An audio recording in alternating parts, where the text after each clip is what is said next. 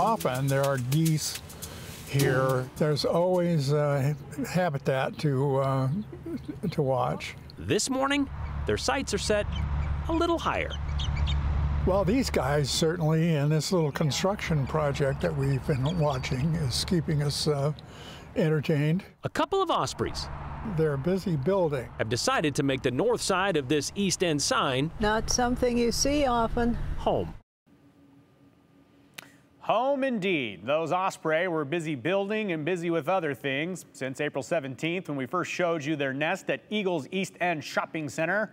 We've been wondering how those baby osprey have been doing, and now we know. Yesterday, Bobby Moeller sent us a text that just said, just an update for you on the osprey on State and Eagle. Saw three babies there today and sent in a picture.